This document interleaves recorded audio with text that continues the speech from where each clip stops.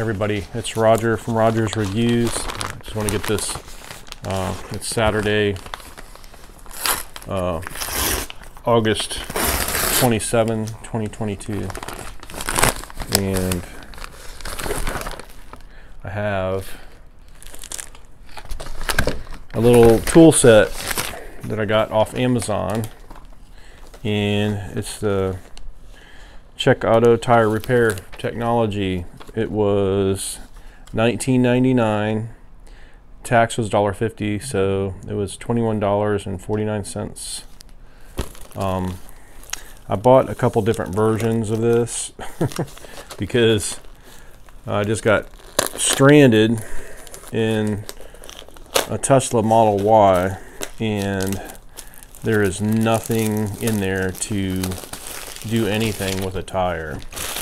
And I believe that a lot of those newer cars are the same way. So if you have a newer car or a Tesla or anything that doesn't have a spare, you might want to invest in a kit like this.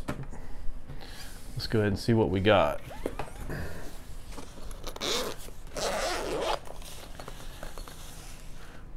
Tire plug kit, comes with uh, some nice big fat handled uh, tire uh, puncture seal kit and it also has some spares. Um, comes with a whole pack of plugs. They look pretty decent. There is like one two three four five. Looks like there's 20 20 plugs. So, and you also want to keep them in a nice Ziploc bag. Um, once they dry out, they don't really work as well. So you definitely want to keep that sealed up well. And then comes with um, a tool to separate, the, like if your valve stem's leaking, sometimes you can just replace your valve stem and there's a valve stem tool and there's a couple extra um, valve stem caps. Uh, I think there's four valve stem caps, four valve stems.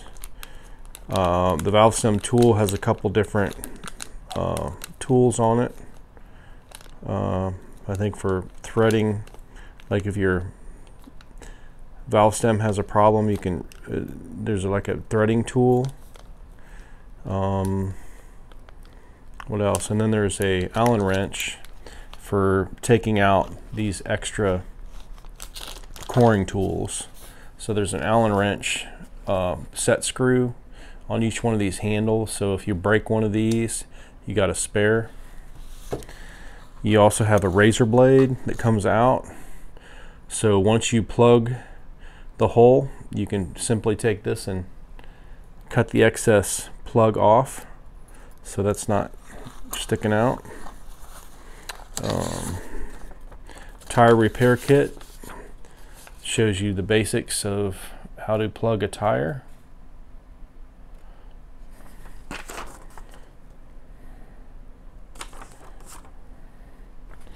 And also comes with a little lubrication so to help kind of like a Vaseline type gel this will help the uh, help you get the um, plug inside the hole after you ream it out.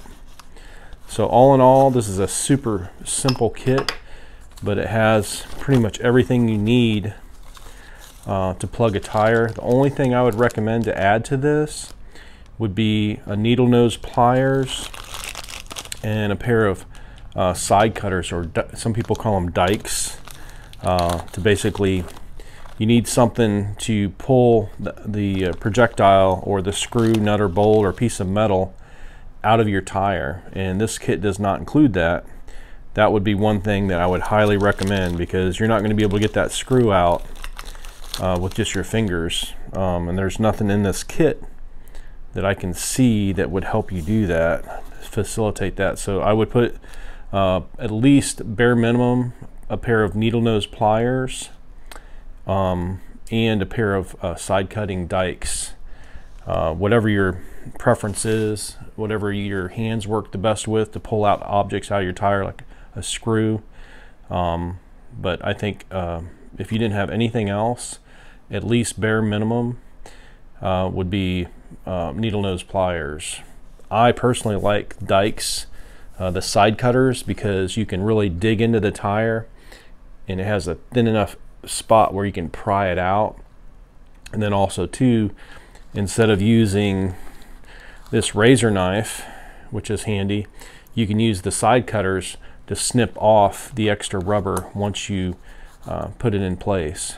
So in addition to this, I would highly recommend that you get some type of air pump. I don't care if it's a, um, a hand pump, like a tire pump, um, or and or um, a compressor, like a, maybe something you can plug into your cigarette lighter or a battery charge one. It'd be nice to have both, one that you can plug in to your cigarette lighter and has a battery backup because sometimes when you're on the side of the road, um, you know, maybe your battery's about to die. You don't want to like use the last of your battery power to pump your tire up and not be able to start your car. Um, and then sometimes you don't, maybe you don't have enough gas to keep, you know, idling your car while you're changing your tire and then you're breathing in the fumes while you're on the side of the road. I mean, there's just a combination of uh, things that can happen. But if you have an electric car, um, you know, you can still turn it on, but uh, sometimes you like on some of the cars they don't even have cigarette lighters so you don't have a really good way to charge the battery if you have a compressor that plugs in the wall. So hopefully your car has an outlet or you have some type of an adapter or uh, some type of device that you can charge your tire pump. But uh, like I said the pump the ones that pump up by hand they might take forever but um, it's better than nothing. And I'd rather have that than a dead battery in an air compressor you know that can't pump my tire. So at least you can always pump manually the tire. Um, I pumped up a tire before. It takes 10 or 20 minutes but eventually does pump up. As long as you have a plug or the, the leak is very slow it might get you the next gas station or tire repair shop where they can get you back on the road.